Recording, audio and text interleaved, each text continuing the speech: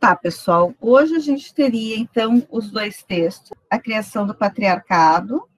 No caso do texto da Lerner, tem alguns elementos que a gente já percebe que as pesquisas andaram, né? E que ela nesse momento ou ela intui ou ela está se baseando em estudos posteriores, aliás, perdão, anteriores, que é um pouco do que eu quero marcar com você. No caso do, do Stearns, ele tem algumas teorias com as quais eu não sei se eu concordo, uh, mas também eu vou, vou ir na, na questão de que nós temos, as pesquisas têm avançado muito nesse sentido, no próprio sentido da construção de, de, de uma história das mulheres esses avanços são diários, né? Basta a gente acompanhar esses, esses avanços e sabe que eles são diários.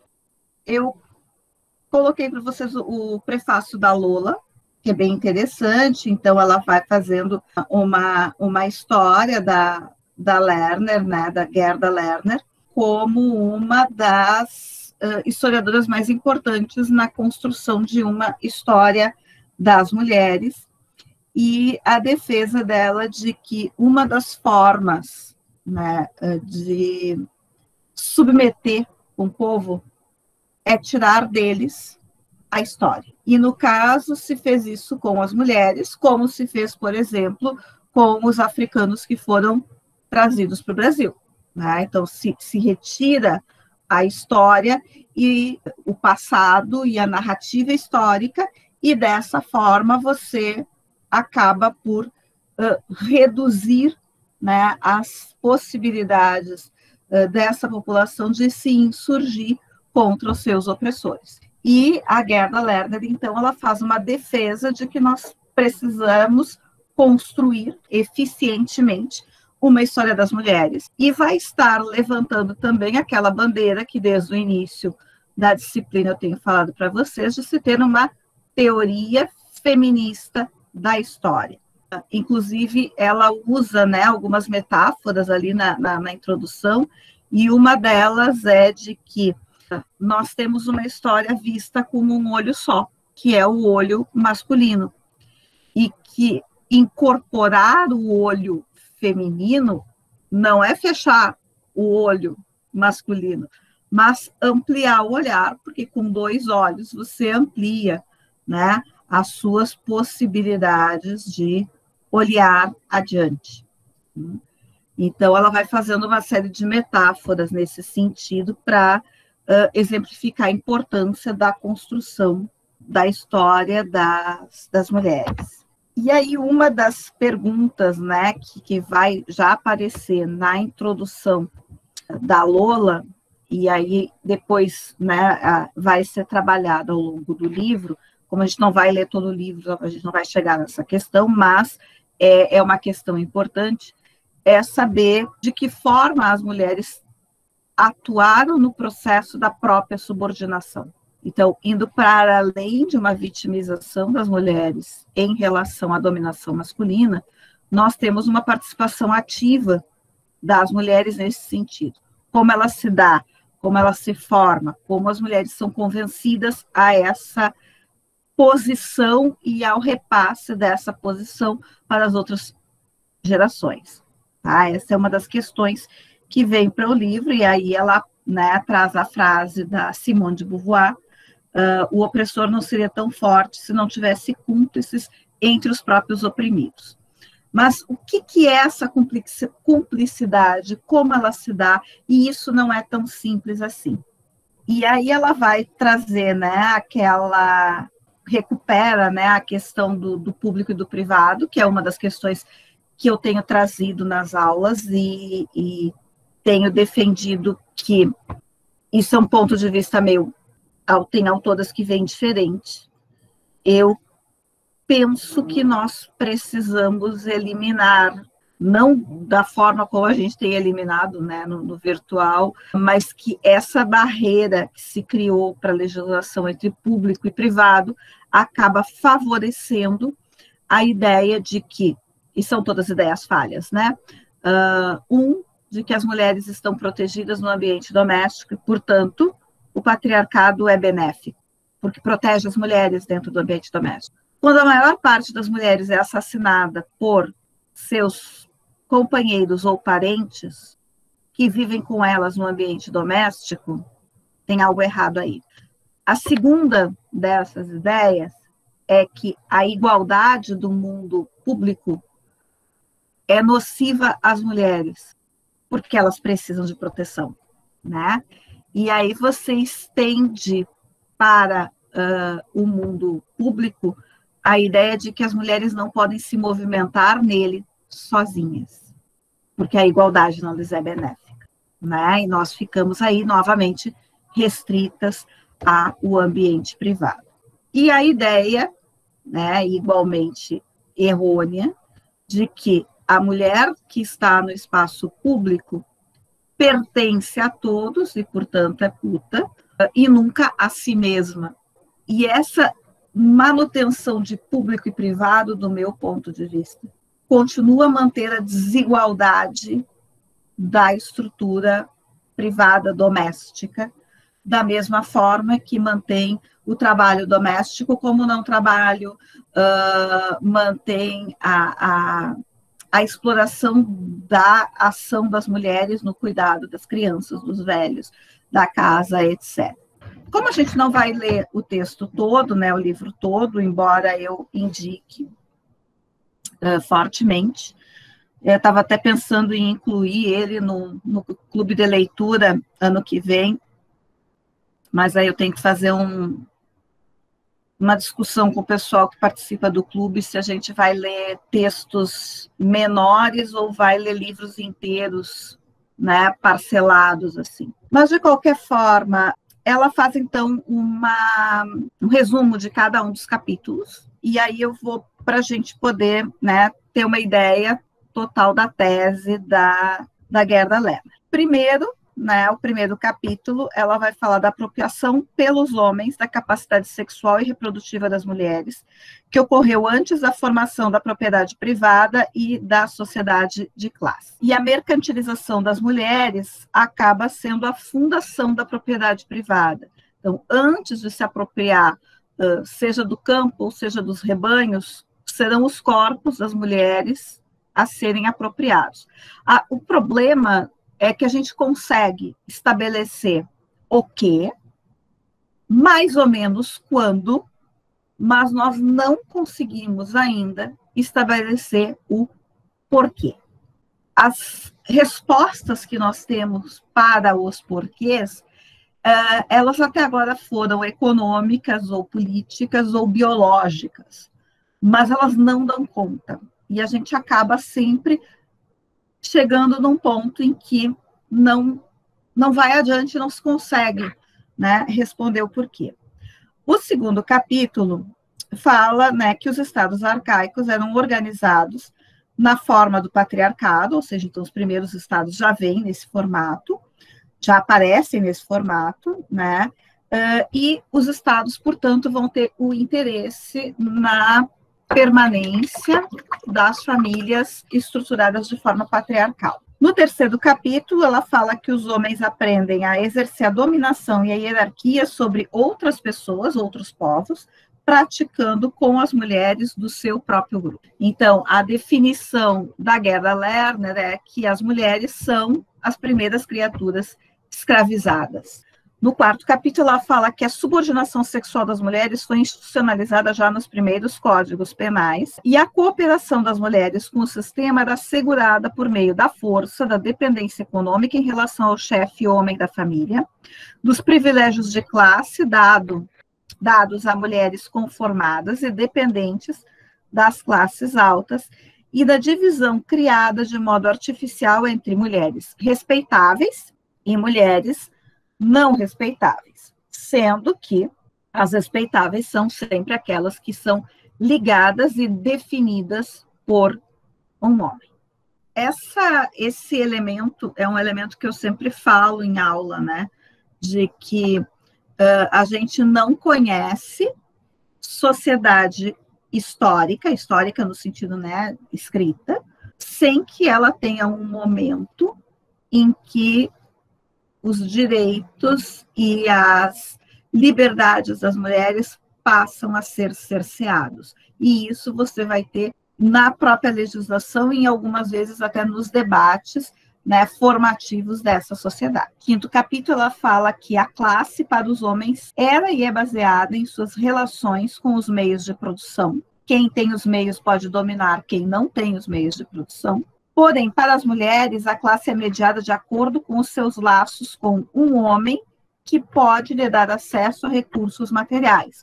Ou seja, a mulher não participa da compartilhamento da propriedade. O poder feminino esse é o sexto capítulo, em Dar a Vida, é idolatrado por homens e mulheres, por meio das deusas, mesmo depois de as mulheres estarem subordinadas aos homens. Então, isso, esses elementos simbólicos permanecem ainda um tempo, mesmo depois do processo de subordinação. No sétimo capítulo, ela fala, então, que essa, que essa, essa simbologia das deusas acaba recriando os mitos quando essas deusas poderosas são destronadas e substituídas por um deus masculino dominante após o estabelecimento de um forte reinado imperialista. Sexualidade e procriação passam a ser separados segundo sua função, e a deusa mãe é transformada em esposa ou amante do chefe masculino. É interessante, em alguns casos, como por exemplo, uma das lendas mais antigas né, que nós temos escritas da Mesopotâmia, que é onde ela começa analisando, são as lendas da criação do mundo, né? Você tem o mundo que vai ser parido, criado por uma deusa mãe monstruosa, que é uh, o dragão, a dragão Tiamat. A gente, quem é mais velho e assistia a Caverna do Dragão, sempre pensa Tiamat como um dragão macho, tá? Mas Tiamat é um dragão fêmea e ela é então morta e do seu corpo é feito o universo, porque ela contém toda a criação dentro dela, né? Então essa igual divisão, né, uh, do feminino monstruoso e do masculino civilizador, ela vai aparecer em diversas uh, mitologias que a gente conhece. Em alguns casos, à medida em que se dá né, esse processo do civil, da, da, uh, civilizador do masculino, o feminino ele pode retornar à monstruosidade no momento em que ele não for submisso né, a, a essa legislação masculina. E aí nós temos várias histórias de mulheres transformadas em monstros, né? Uh, Medusa, Silecaríbides, né? E outras tantas que são. E veja bem, é, a própria Era, sim, né? Uh, que era a deusa mãe anterior, né? E que acaba sendo uh, controlada, tanto que ela é a filha mais velha, ela é a primogênita, né? Ela herdaria. E aí, e você tem às vezes as mulheres como o, o, o veículo, né? A própria Atena, que é uma personagem né, que caminha entre o feminino e o masculino, uh, ela aplica essa lei de monstrualização nas outras mulheres, quando essas mulheres não uh, se comportam né, dentro daquilo que é a lei do pai, né? A lei, no caso do, do Zeus. Os homens são, pelo processo de metamorfose, eles não se transformam em monstros, eles se transformam em animais, né? Vide a Odisseia, que você tem os homens transformados em porcos pelo próprio Ulisses, né? Ou seja, eles são animais, mas animais, uh, aspas, civilizados, porque estão dentro do processo de criação. As mulheres não. Quando elas se monstrualizam, elas voltam para o incriado e, portanto, para aquilo que não pode ser absorvido pela cultura e, portanto, tem que ser destruído. No capítulo 8, ela vai falar, então, da emergência do monoteísmo judaico e depois do, judai, do, uh, do judaico cristão, que transforma-se em ataque a culto de várias deusas da fertilidade. criatividade e procriação passam a ser atribuídas a um Deus todo-poderoso, chamado de Senhor e Rei, ou seja, homem. E a sexualidade feminina que não for para procriar fica associada ao pecado e ao mal. O único acesso das mulheres a Deus, esse é o capítulo 9 dela, passa a ser sua função de mãe. Ou seja, se a mulher não é mãe, ela não vai para o céu. No capítulo 10, essa desvalorização simbólica das mulheres em relação ao divino se torna uma das metáforas marcantes da civilização ocidental. A outra metáfora é dada pela filosofia de Aristóteles, que pressupõe que as mulheres sejam incompletas e defeituosas, uma espécie diferente da do homem. Aqui eu discordo, mesmo da leitura da Lola, tá? Porque uh, o trabalho do Thomas Laker em que chamado A Invenção do Sexo, Corpo e Gênero dos Gregos a Freud, que para mim é um trabalho assim definidor. Ele faz todo um estudo da, de como se construiu culturalmente a noção de sexo, que ele considera tão cultural quanto a noção de gênero. Tá? E, e eu tendo a pensar como ele, uh, e a John Scott e a uh, Judith Butler, que também seguem na mesma senda, Uh, e aí, né, a, a, reconstrução que ele faz da leitura do Aristóteles vem nesse sentido. Na verdade, ele está defendendo que há um sexo único, que é o masculino, o gênero, né, o homo, e que as mulheres, portanto, elas não atingem ao masculino por falta de perfeição. Elas não são perfeitas o suficiente para uh, serem homens. Tá? E aí vem toda a questão né, uh, uh, do vitalismo e da, da, do fogo interno, etc. Tá? Que é outro estudo. Mas, de qualquer forma, não é que elas sejam uma espécie diferente, elas são a imperfeição da espécie, né? Aquilo que e que não tem como dar certo porque nasce imperfeito, tá? Não tem como, não tem como melhorar porque é imperfeito. Então, o fato é que essas construções metafóricas começam a, a, a convencer, né, e a construir a ideia de que a subordinação das mulheres era natural, e ao ser natural ela se torna invisível, e sendo assim, nós temos estabelecido o patriarcado como uh, ideologia. E a Lerner, então, né, ela vai fazer o chamado teste do irmão e da irmã, né, para apontar dentro de uma sociedade como a gente pode estabelecer o nível de liberdade uh, e independência de uma mulher. E aí ela se refere, né, a, ao texto da Virginia Woolf, que se chama Irmã de Shakespeare, que é um texto que a Virginia escreveu para uma revista, que é uma série de debates que ela tem com um cara que escreve sob pseudônimo. Que interessante, né? Até parece os perfis fakes do Twitter. Pois é, o homem escreve com pseudônimo, mas ela escreve com o nome dela. E o cara diz que como as mulheres podem dizer que são iguais aos homens se nunca houve uma mulher que se igualasse a Shakespeare. E aí, a Virginia, então, escreve esse texto chamado Irmã de Shakespeare, imaginando que o Shakespeare tem uma irmã gêmea tão talentosa, tão brilhante, tão incrível quanto ele, e o que, que aconteceria com ela? E ela começa. Bom, primeiro, ela não iria à escola porque não era permitido as mulheres irem à escola. Segundo, ela só aprenderia a ler e escrever se o pai dela fosse tremendamente benevolente. Vamos imaginar que o pai dela fosse tremendamente benevolente e ensinou ela e o irmão a escreverem. Uh, Shakespeare fugiu de casa com 14 anos para ir se juntar ao mundo do teatro, porque o pai dele era um agricultor.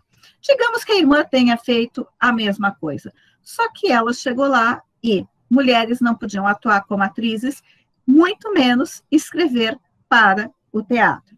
Portanto, a única maneira de sobreviver foi se prostituir e ela acabou morrendo de parto aos 16 anos, fim da história da irmã do Shakespeare. Então, esse é o paradoxo da irmã e do irmão, né? Porque a gente joga para tentar ver o quanto de liberdade de independência as mulheres têm em cada sociedade. Vitória escreve: a história de curta duração serve para estabelecer valores e foi utilizada por vários arqueólogos e historiadores para reforçar o patriarcado. Se baseavam nos mitos da chamada pré-história e explicavam a história a partir de generalizações. Exato. É interessante, né, que ela faz uh, uma recuperação, a, no caso a Lola, né?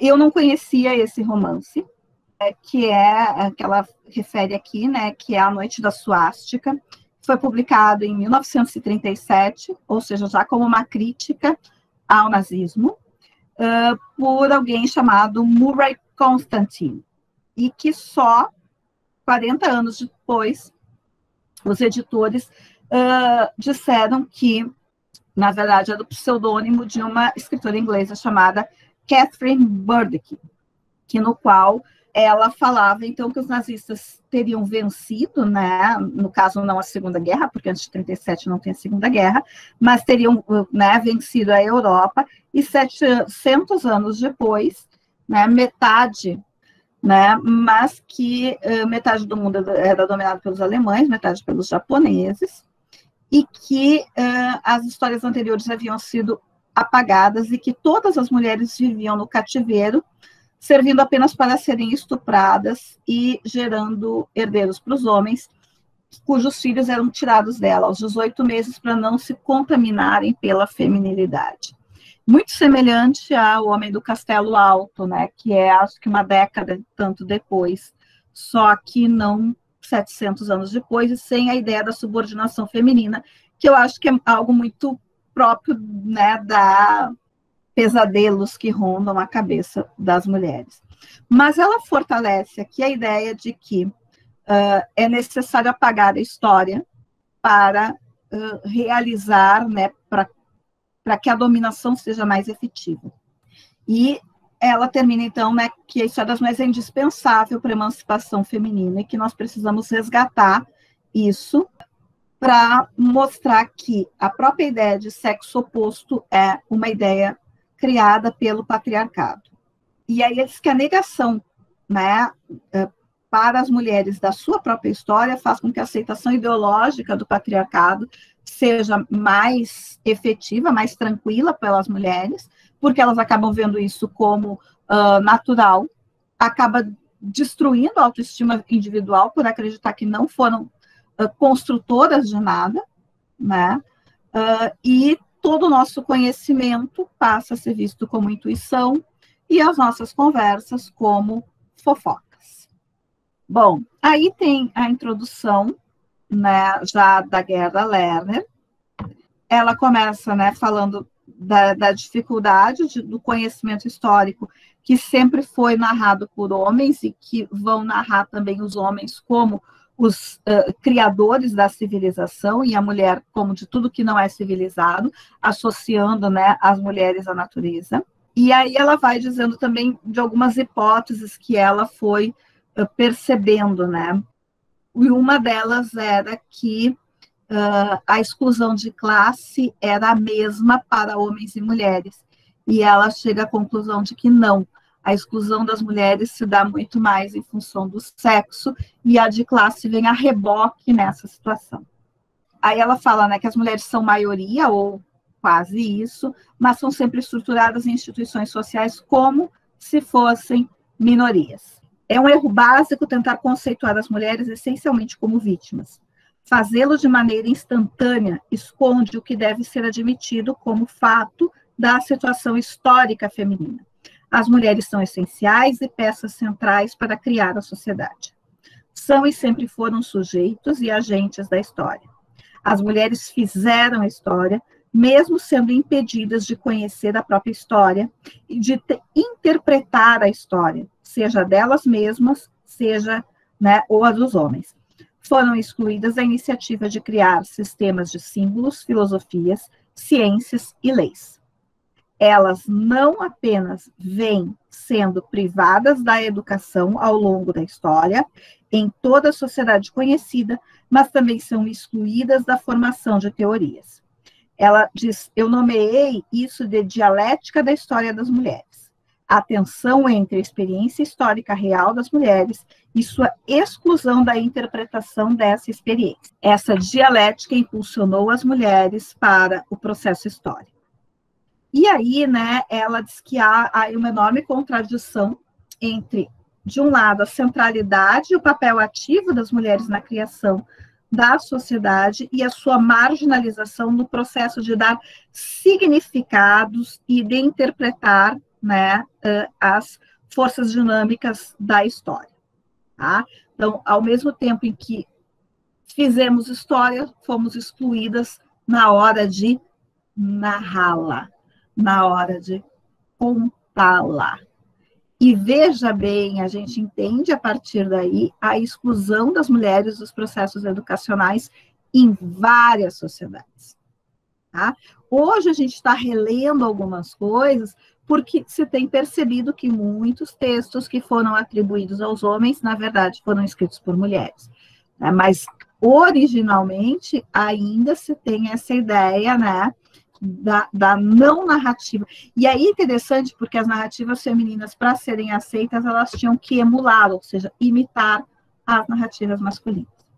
E aí ela volta, né? Outra questão que eh, esperava que meu estudo abordasse tinha relação uh, com o longo atraso, mais de 3.500 anos, de conscientização feminina sobre a própria posição de subordinação na sociedade.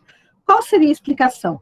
o que poderia explicar a cumplicidade, ela botou aspas, histórica das mulheres em preservar o sistema patriarcal que a subjugava e em transmitir tal sistema ao longo de gerações a seus filhos de ambos os sexos. Eu já tenho uma, o livro inteiro dela é tentar, uh, também tenta responder isso, mas a gente tem um sistema violento terrível nesse sentido, e eu não acho que as mulheres foram tão subordinadas quanto a história nos fez aceitar, né?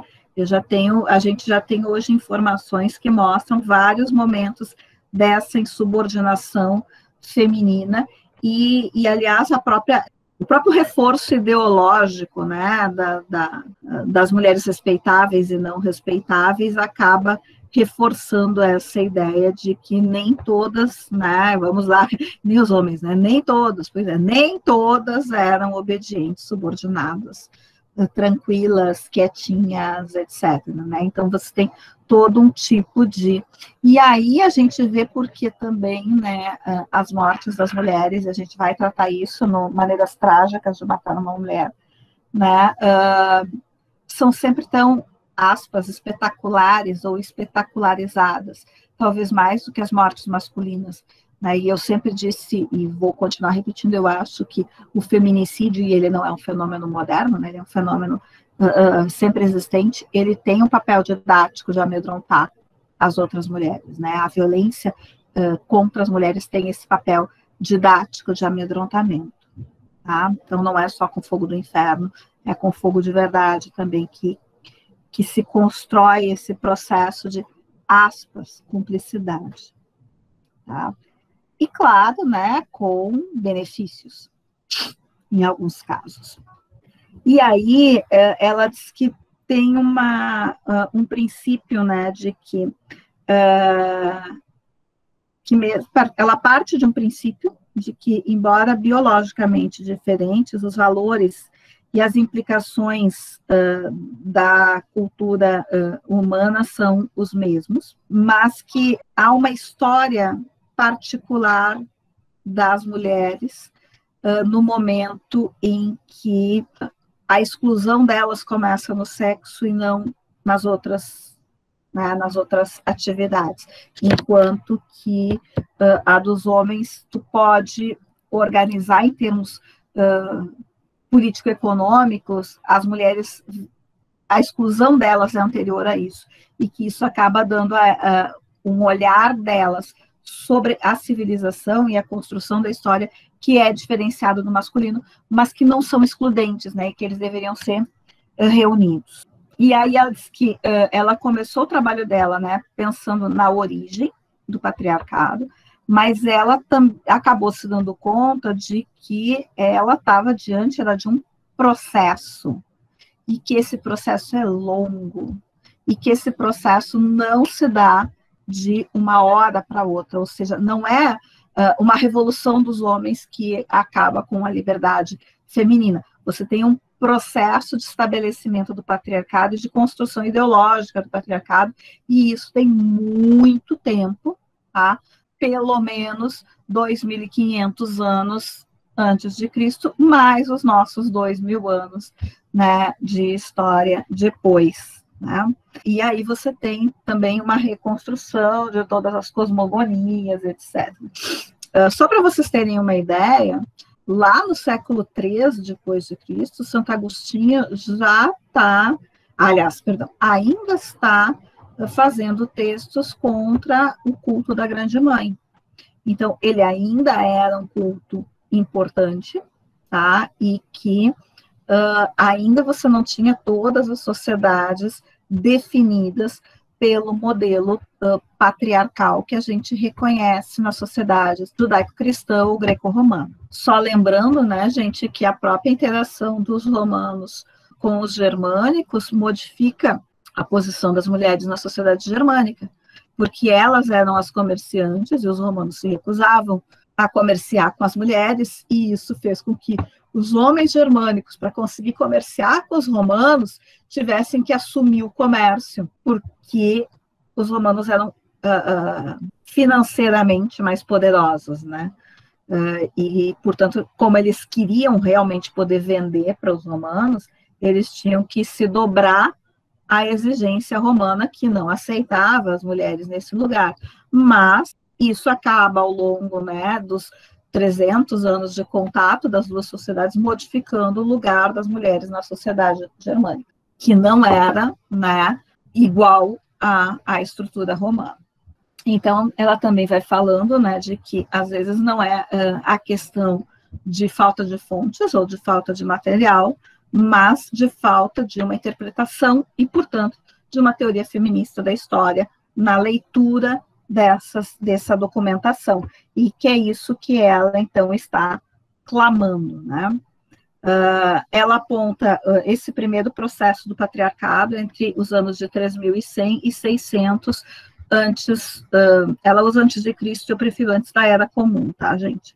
E que foi, né, um dos lugares irradiadores, vai ser o Antigo Oriente Próximo, que vai irradiar para outros lugares. E aí, então, ela começa, né, que as mulheres pareciam ter status diferentes em aspectos distintos da vida, de modo que, por exemplo, na Babilônia, do segundo milênio antes da Era Comum, a sexualidade das mulheres era totalmente controlada pelos homens, enquanto algumas delas tinham grande independência econômica, muitos direitos e privilégios legais e ocupavam várias posições importantes de alto status na sociedade. Ela ficou perplexa em descobrir que eh, as evidências históricas em relação às mulheres faziam pouco sentido quando consideradas de acordo com os critérios das interpretações tradicionais. E aí, depois de um tempo, ela começou a perceber que ela tinha mais que focar na questão do controle da sexualidade do que das questões econômicas, e ela então vai começar a focar no controle uh, sexual. E a partir daí ela começa a questionar como a definição de classes era diferente para mulheres e homens, né? Porque a classe das mulheres não se dava uh, pela questão uh, do acesso aos bens, de, aos modos, aos meios de produção, os modos de produção. Isso mesmo antes do início da sociedade de classes. E aí então ela faz, né, uma um elenco das propostas dela ao longo do livro. A primeira proposta, que, vai, que ela desenvolve nos capítulos 1 e 2, ela diz que a apropriação da função sexual e reprodutiva das mulheres pelos homens ocorreu antes da formação da propriedade privada e da sociedade de classes. A transformação dessa capacidade em mercadoria, na verdade, vai estar no alicerce da propriedade privada. Então, ela vai discordar do Engels, que é um pouco o primeiro capítulo que a gente leu, né, nesse sentido, em que o Engels diz que é a propriedade privada que vai criar a subordinação das mulheres, e elas que a subordinação das mulheres é anterior. Uh, nos capítulo, no capítulo 3, ela pega, então, os estados arcaicos, que vão ser organizados já uh, no formato do patriarcado, com interesse na permanência desse tipo de família. Depois, né, ela, aquilo que a Lola já falou, né, que ela diz que os homens aprendem a instituir a dominância e a hierarquia sobre outras pessoas, praticando sobre as mulheres do próprio grupo, uh, e isso vai se manifestar na institucionalização da escravidão, que começa com a escravidão das mulheres dos grupos conquistados. Lembrem do rapto das Sabinas no início da história romana. Né? Uh, no capítulo 5, então, ela fala da subordinação sexual das mulheres desde os mais antigos códigos de leis. Depois, a questão da classe, né, no capítulo 6, e a divisão artificial de mulheres respeitáveis vinculadas a um homem e mulheres não respeitáveis, ou seja, sem vínculo com o homem e livre de todos os homens, uh, institucionalizada em leis relacionadas, por exemplo, ao uso do véu entre as mulheres, né, ao cobrir os cabelos. Né, os cabelos, os cabelos das mulheres, vejam bem, né, não são só os filhos mas os cabelos e o corpo das mulheres, quando se obriga a cobri-los, né, porque eles pertencem a outro, que não a elas mesmas. O capítulo 7, ela fala então dessa subordinação sexual e econômica das mulheres aos homens, embora elas ainda desempenhem papéis ativos, né, uh, principalmente na mediação dos seres humanos com os deuses, seja como sacerdotisas, videntes, adivinhas, curandeiras, né? Então, há um poder metafísico das mulheres que ainda é venerado e ainda é aceito e que depois vai começar a ser uh, usurpado. Tem aquele livro do Santiago, que é um historiador espanhol que se chama Deusas e Adivinhas, né? E que ele fala, ele traça justamente esse, esse uh, processo de usurpação né, do poder metafísico das mulheres na sociedade romana. Depois ela vai fazer, falar então do destronamento da deusa, né, e portanto do próprio poder metafísico das mulheres, o surgimento do monoteísmo, que passa a tirar a criação das mulheres e colocar a criação como algo masculino e não feminino. Né? Então, o processo gerador das mulheres vai perder importância para o papel do pai. A mulher passa a ser só né, o que os gregos chamam de o forno.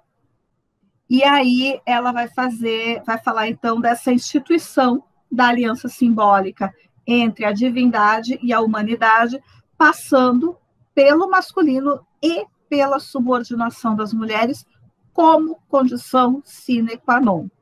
Ou seja, os homens só são beneficiados por Deus se as mulheres lhe forem subordinadas, tá? Uh, e aí o único, o único acesso das mulheres a Deus uh, uh, passa a ser, então, a sua função de mãe, que, veja bem, não é uma função criadora, é uma função geradora. Qual é a diferença?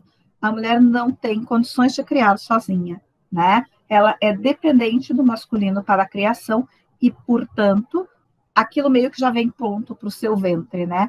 Ela apenas é forno, receptáculo, né?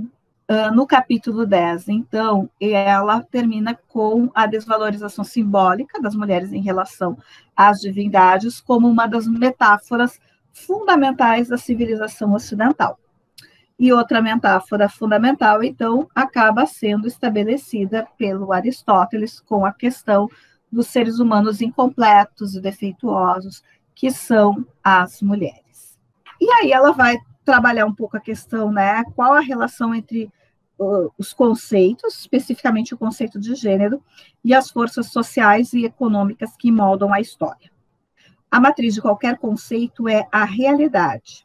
Então, que há uma realidade na qual as coisas se baseiam para criar esses conceitos, porém, nós não podemos separar a realidade, o fato da interpretação. E aí, novamente, ela clama por uma interpretação feminista uh, dos fatos, né, sem ficar uh, subordinada unicamente ao olhar uh, masculino.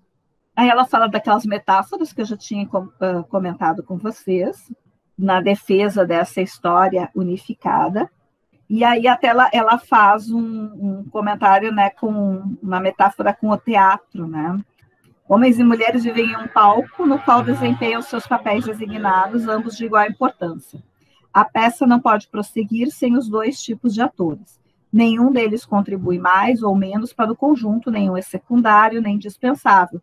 Mas o cenário é concebido, pintado, definido por homens. Os homens escreveram a peça, dirigiram o espetáculo interpretaram os significados da ação. Eles se autoescalaram para os papéis mais interessantes e heróicos, deixando para as mulheres os papéis de coadjuvante. E aí ela vai dizendo que esse é o momento, então, das mulheres tomarem consciência de que elas precisam também passar a escrever a peça. E é interessante que ela faz uma crítica aqui já ao que a gente chama de feminismo liberal, né? Porque ela disse o seguinte, que conquistar os melhores papéis dentro da peça, sem escrever a peça, não é suficiente. E isso, para mim, me pareceu muito claro uma, uma, uma, crítica ao feminismo liberal, né? De, da, da questão de, de uh, subir na estrutura de uma sociedade que é masculinista, né? Ser a CEO, ser a chefe, mas dentro dessa estrutura, e aqui ela já está dizendo, não, a gente tem que ir na estrutura, é ela que a gente tem que mudar, né? Não apenas assumir uh, os papéis. E aí ela uh, até faz uma crítica, né, de que uh, nesse processo a gente vai ter sempre muitas mulheres que, justo pela própria criação, foram muito adestradas nessa estrutura, assim como homens, e que nós temos, né, que trocar é o adestramento, né, uh, em vez de ficar fazendo uma história compensatória para as mulheres. Ah, né, vocês faziam isso, mas Aí vamos lá, né, com a, a, a exceção que confirma a regra, né? Mas teve fulana, né? É, pega uma. Não. Né? Essa uma significa que tem muitas. E aí ela termina dizendo, né, o que as mulheres precisam fazer, o que as feministas estão fazendo agora é apontar para o palco os cenários, os objetos, o diretor, o roteirista, como fez a criança que gritou que o rei estava nu, tal como no conto de fadas, e dizer que a desigualdade básica entre nós encontra-se dentro dessa estrutura e depois precisam destruí-la. E aí ela vai, então, falando como é que vai ser escrita essa história quando esse guarda-chuva de dominação for eliminado e a definição for compartilhada igualmente, né, a definição e a interpretação, entre homens e mulheres. Desvalorizaremos o passado, subverteremos as categorias, trocaremos a ordem pelo caos? Não, apenas vamos né, ser mais livres em relação à, à nossa estrutura. E aí ela chega, né, ela é bem esperançosa, né, ela chega a comparar, então, essa modificação da narrativa histórica a uma nova uh, descoberta copernicana, né, de que uh, é a Terra que gira em torno do Sol e não o Sol que gira em torno da Terra.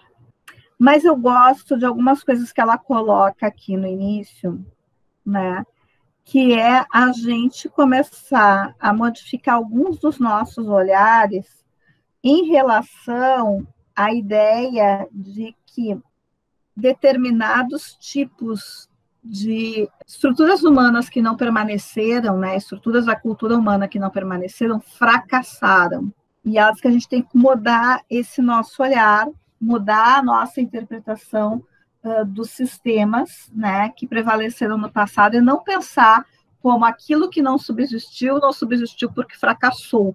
Tem várias outras questões que são né, potentes aí na hora de, de fazer essa análise.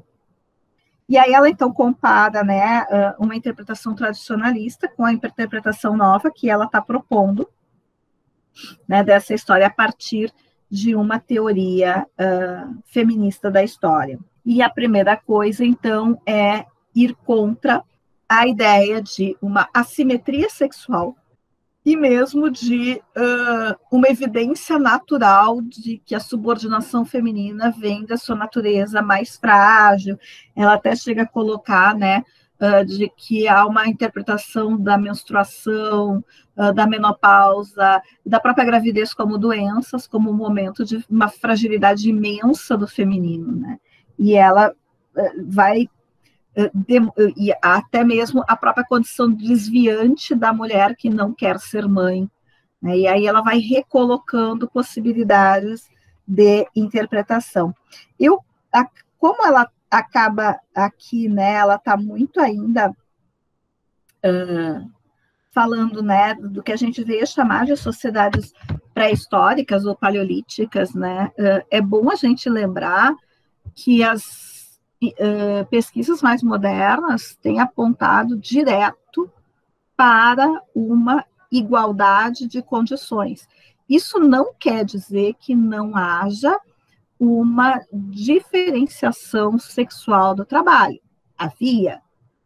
Só que não havia nessa diferenciação sexual do trabalho uma diferenciação hierárquica desse trabalho, porque ambos os trabalhos eram considerados absolutamente necessários. E é interessante porque várias das nossas leituras sobre o paleolítico e mesmo neolítico, elas vão estar baseadas no olhar que a gente joga para populações que ainda vivem próximas a, a esses sistemas e que foram encontrados né, pelas, uh, pelos grupos humanos, vou botar aspas enormes, civilizados. Né? Mas veja bem, uh, essa interpretação de que havia hierarquia e subordinação, e aí ela traz aqui, né, uh, o próprio, o próprio Levi-Strauss, que é, que é um dos, né, dos campeões dessa interpretação, vem muito do olhar que esses homens lançavam para essas sociedades, e que muitas vezes eles tendiam a interpretar uh, essas sociedades de acordo com o seu ponto de vista, que é né, estruturado dentro do patriarcalismo. E elas, assim, que uh, essa, essa evidência, aspas, né, uh, uh, do homem caçador e guerreiro como algo que o tornava mais capacitado e mais adaptável ao mundo, ah, até a Simone de Beauvoir comprou isso, né, na época em que ela escreveu, então nos anos 80 já não se está comprando mais essa ideia, e aí ela vai dizer, olha, né, aí ela traz inclusive a coisa da, das mulheres caçadoras, e veja bem, né, a caça de grandes animais, ela tinha que ser extremamente cooperativa, e, portanto, é provável que as mulheres também estivessem junto dentro delas, e é o que hoje tem se apontando. E a caça de pequenos animais, bem como a coleta de grãos, não era também uma atividade exclusivamente feminina, porque uh, uh, uh, é, todo o grupo tinha que cooperar em relação a isso. Mas acho que é, só se vai mudar isso a partir do momento em que as antropólogas feministas começam né, a fazer uh, levantamento e perguntas perguntas que para os homens estavam respondidos uh, para os antropólogos homens dentro dessa estrutura. Né? Porque a partir do momento em que aparecem antropólogas feministas, vai aparecer antropólogos feministas né? também uh, colocando questões aqui. Que aí elas passam aí contra a ideia da dominação masculina universal e mostrar que essa simetria sexual nem sempre uh, vai ter conotação de dominação e submissão. Uma coisa interessante, né, é que, por exemplo, se fala muito de que uh, o corpo da mulher, então, é feito para a criação dos filhos, etc., né, porque uh, as mulheres dão o seio às crianças e as crianças mamam. E aí, há uns meses atrás, uma antropóloga, aliás, uma arqueóloga, estava mexendo numa num, série de vasilhas pequenas que não se interpretava muito bem o que que era, e ela chegou à conclusão a partir do que? Do estudo do que tinha dentro, né, dos restos que tinha dentro da vasilha, que nunca tinham sido pesquisados, de que uh, o que tinha dentro das vasilhas era leite, e que aquelas vasilhas pequenas eram mamadeiras, tá? Eu não sei se vocês chegaram a ver isso. E as mamadeiras, inclusive, elas têm forma de bichinho para atrair as crianças. Chegaram a ver isso? É uma graça, né? Todas neolíticas. Então, assim, né? Uh, sim, as mulheres davam o seio, mas elas também tinham alternativas para isso, né? E isso não excluía os homens do processo de dar leite. E mais do que isso, né? O leite que foi encontrado ali não é humano. Tá? Então também se vai dar leite de animais já uh, para as crianças. Então, assim, né, nós temos aí uh, um enorme desconhecimento sobre isso e uma recontagem da história a partir do patriarcado. E a, isso é que nos cabe, né? Fazer perguntas e reler, inclusive coisas que a gente já tinha conhecimento, mas não sabia para que, que servia. Então, ela fala né, de que uh, nessas sociedades paleolíticas e neolíticas, né, uh, os sexos são considerados complementares e os seus papéis e status, embora diferentes, são nivelados. E aí ela vai falando, né, uh, inclusive da importância uh, das mulheres na questão da horticultura. Mas é interessante que há uma separação entre o que se chama de horticultura, né, e que é, eu já comentei com vocês, é uma criação, né, é, o processo de plantio e de colheita é uma criação muito provavelmente feminina, por conta do relógio biológico interno que as mulheres têm e os homens não têm, né, e da assimilação com a lua e tudo mais, e da observação dos astros, então a astronomia também né, entraria nesse processo.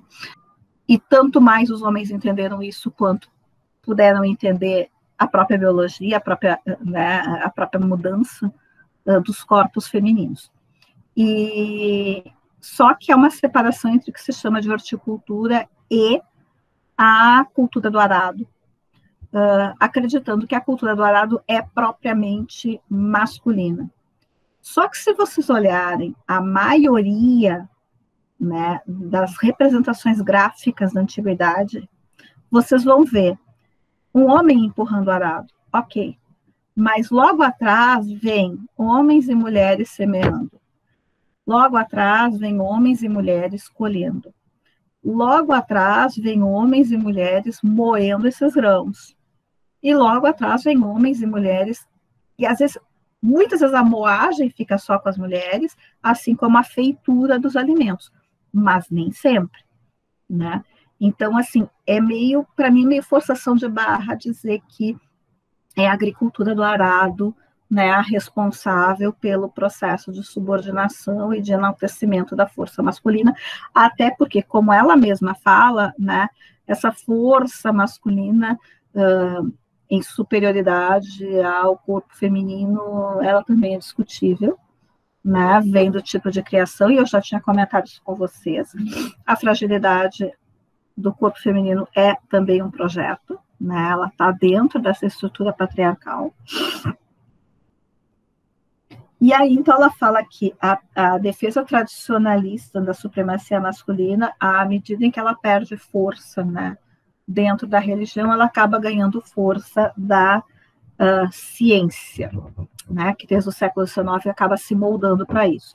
Ela vai fazer umas críticas né, uh, ao Engels, uh, que muitas coisas elas que são reflexos né, do, dos próprios atores, valores vitorianos machistas dele, mas ela destaca as contribuições, né, em que, por exemplo, um, ele aponta a ligação entre mudanças estruturais nas relações de parentesco e mudanças na divisão do trabalho uh, e da posição das mulheres na sociedade. Mostra a conexão entre a instituição da propriedade privada, casamento monogâmico e prostituição uh, apresenta a relação entre dominação política e econômica pelos homens e seu controle sobre a sexualidade feminina, determinando a grande derrota histórica do sexo feminino no período de formação dos estados arcaicos, com base na dominação das elites donas das propriedades e dando historicidade ao evento.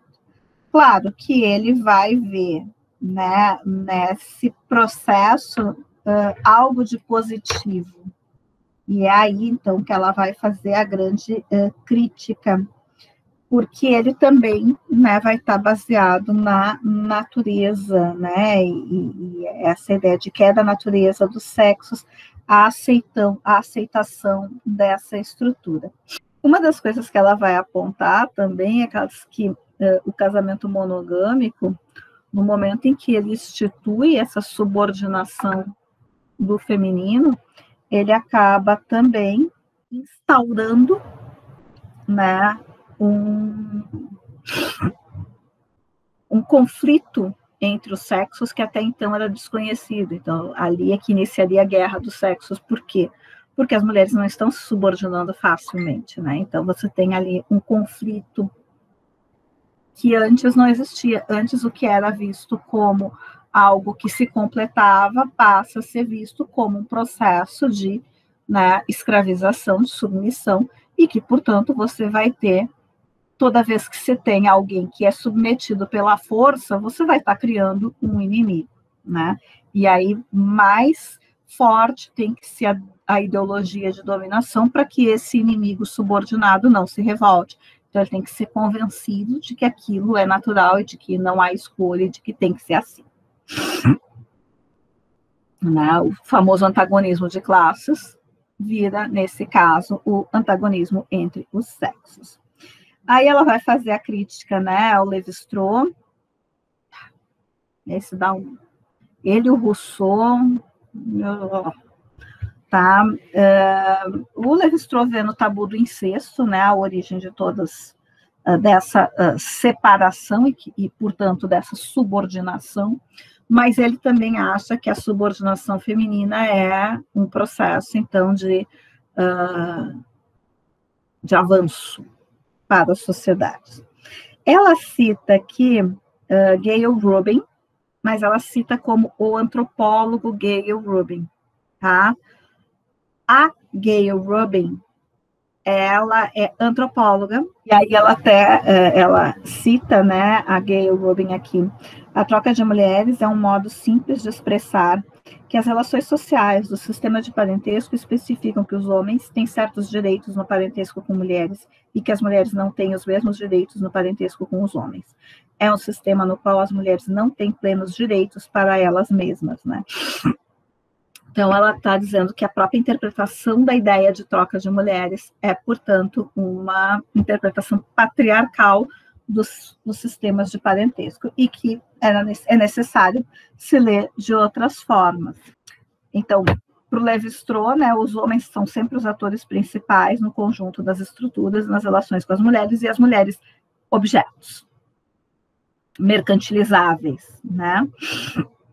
Ela acaba uh, jogando um pouco mais adiante quando ela vai estudar isso, mas ela diz que é terrível porque ele teve muito impacto nas teorias, né, mesmo em teorias feministas, e que depois a gente levou um monte de tempo podendo, tendo que desconstruir isso, e há uma ideia junto, né, uh, das, das, da, da escrita dele de que é necessário para construir a civilização desvalorizar a natureza e que as mulheres, por estarem muito ligadas à natureza, elas são, né, justamente por esse corpo gerativo que elas têm, uh, estariam então nesse roldão de desprezo.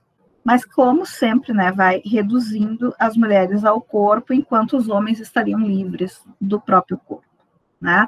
E aí a gente volta lá para uh, o texto da Donna Haraway, né, dos saberes localizados, em que ela quer devolver o corpo aos homens, né? Os homens têm um corpo e eles olham o mundo a partir dele, e a gente tem que, né, mostrar uh, isso na construção da, de qualquer teoria de leitura da história.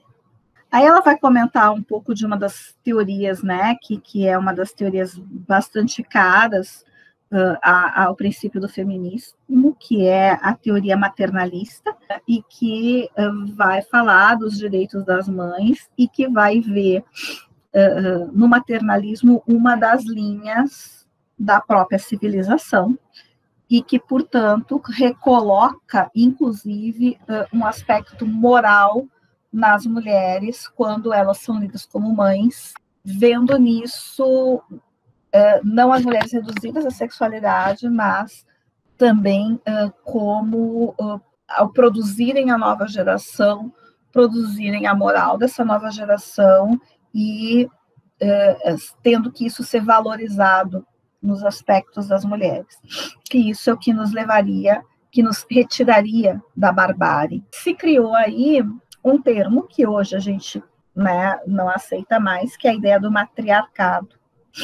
E aí ela faz né, várias leituras possíveis do que, que se entenderia por matriarcado, mas ela diz que matriarcado, uh, pelo jeito que ela entende, eu também entendo, seria né, uma, uma contraparte direta do patriarcado, então seria uma sociedade dominada por mulheres, e que isso não, não nunca se efetivou, nunca houve. O que nós tínhamos era igualdade, e passamos da igualdade à dominação masculina.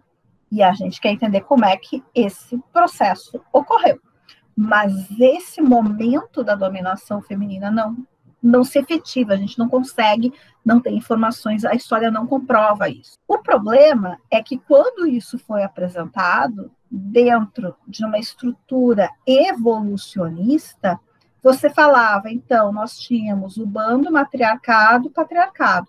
Então, o matriarcado, ou seja, qualquer lugar em que as mulheres tivessem uma posição igual à dos homens, ela passa a ser lida como superior e, portanto, como atraso.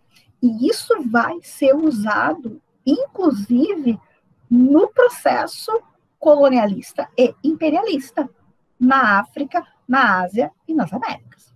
Então, quando vez se encontrava uma sociedade em que as mulheres tinham uma posição igualitária aos homens, elas vão ser lidas como sociedades selvagens, sociedades matriarcais, mesmo que elas fossem matrilineares, que é outra coisa, e que, portanto, elas tinham que ser civilizadas. E para ser civilizadas, as mulheres tinham que decair de status.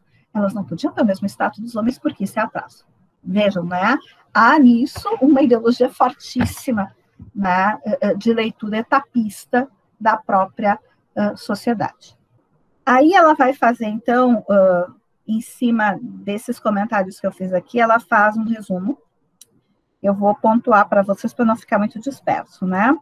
Ao resumirmos os achados referentes à dominância feminina, podemos pontuar: um, a maioria das evidências de igualdade entre os sexos nas sociedades deriva de sociedades matrilineares e matrilocais, que são historicamente temporárias e estão desaparecendo.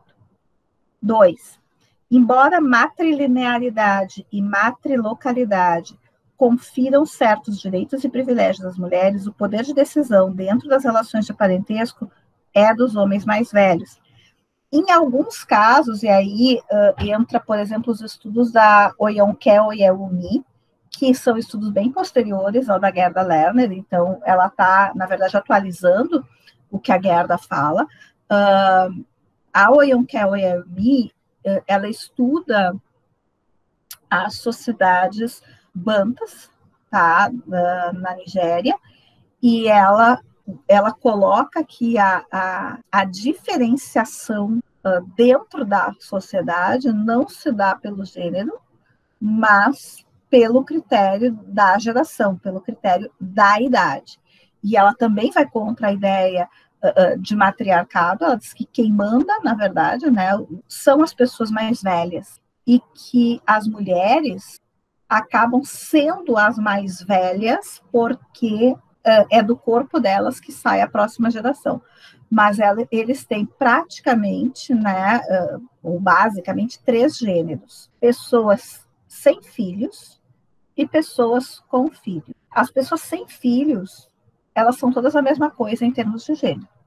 E as pessoas com filhos têm uma subdiferenciação entre as que têm filho do próprio corpo e as que têm filho no corpo do outro, mas que não é a base homem-mulher, como é entendido pela sociedade europeia ocidental. Ela tem algumas críticas dentro, tá? Alguns historiadores, inclusive africanos, bantos, dizem que ela faz uma leitura muito parcial, mas gosta da interpretação dela e o outro não me convenceu tanto, tá? Então é uma questão também de, de convencimento. Uh, mas não conheço também tanto sobre as sociedades bantas, mas a gente sabe hoje que existem sociedades que têm uh, um processo de gênero muito mais complexo do que esse gênero binário europeu, tá? Algumas tribos norte-americanas, por exemplo, chegavam a ter cinco gêneros, né? Uh, mesmo entre os hindus, a gente tem uh, uma tríade de gênero, né? Então a gente tem tem diferenciações aí, não dá para plotar tudo da mesma forma, tá? Então, essa, essa que ela coloca aqui, que o poder de decisão se centra nos homens mais velhos, nem sempre. Eu não vou dizer homens, eu vou dizer nos mais velhos, né? Uma gerontocracia, porque a experiência, né, e tudo mais. Uh, a origem patrilinear, é o terceiro ponto que ela resume, né? Não implica em subjugação das mulheres, tampouco a origem matrilinear indica matriarcado. Dizer, a gente pode ter sociedades patrilineares e as mulheres não serem subjugadas.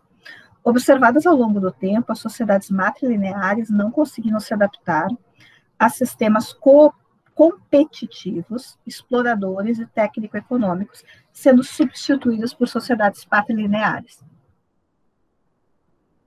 Aí vem aquela discussão sobre uh, cooperação e competição uh, em termos de apropriação de recursos, etc.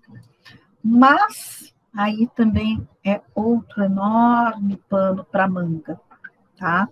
E acho que a gente tem ainda que fazer mais pesquisas para não cair em interpretações excessivamente do tipo, ah, eu gostaria de pensar que os homens são competitivos e as mulheres são competitivas, e que isso uh, organiza sociedades patrilineares e matrilineares.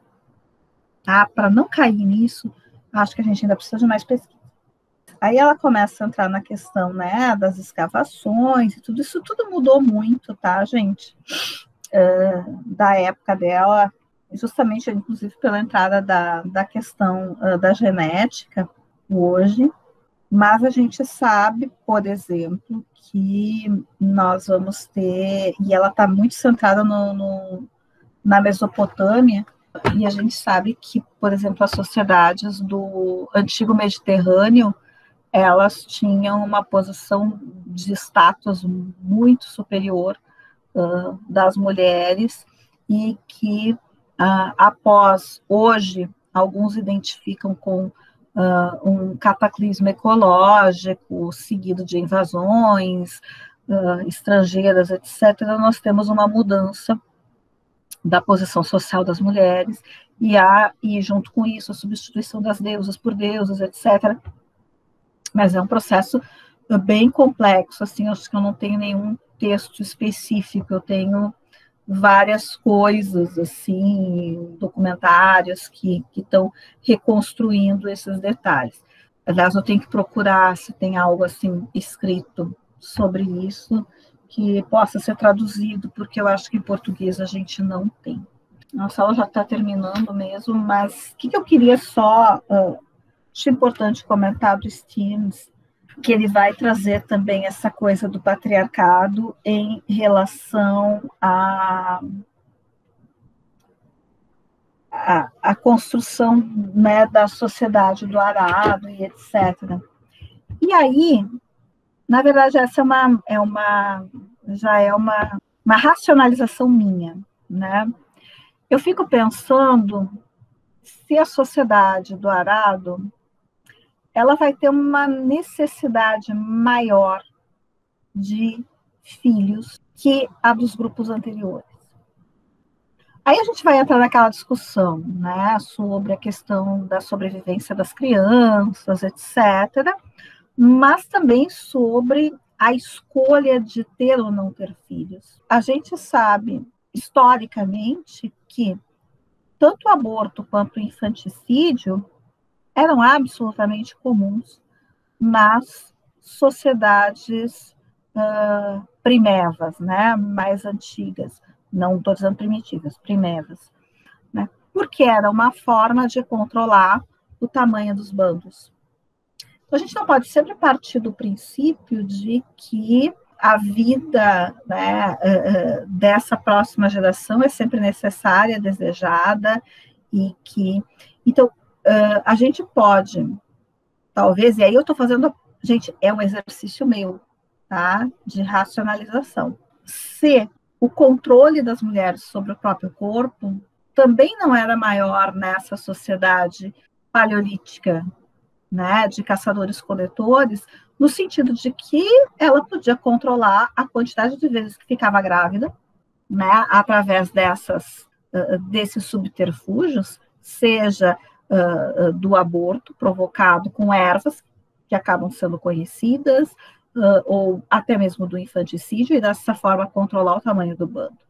Agora, no momento em que se tem uma sociedade horticultora e que caminha da horticultura para a cultura do arado, nós temos duas coisas. Uh, de um lado, né, o aumento da quantidade de comida e com ela da fertilidade, da natalidade e da longevidade. Mas, por outro lado, nós temos também o aumento da necessidade de mãos e braços, não só para o trabalho, como para a defesa. E aí, nesse sentido, começa, a gente começa a ver justamente o controle da sexualidade feminina, e um desses controles é para garantir que esse fornecimento contínuo de pessoas se mantenha. E aí talvez a gente vá ter mulheres ficando mais vezes grávidas e, portanto, mais restritas em deslocamento, trabalho, ação social, etc. Pode ser só loucura da minha cabeça, mas com as coisas que eu fui lendo nos dois autores, eu fui meio que construindo essa e, e, claro, né, das outras leituras que eu tive, eu fui construindo um pouco dessa, sei lá, posso chamar de teoria, né, mas dessa racionalização em cima uh, desse processo de construção do patriarcado e de subordinação do corpo feminino, né, aumentar o número de pessoas, e aí você tem esse controle. E aí é meio interessante a gente pensar, né, que hoje a gente clama pela volta do controle dos nossos corpos e talvez a gente venha a conseguir isso uh, pela diminuição dos recursos que nós temos hoje, né, e que a decisão de não aumentar o número de pessoas acaba acaba se revertendo nesse sentido. Não sei. Uh, tem outros fatores aí para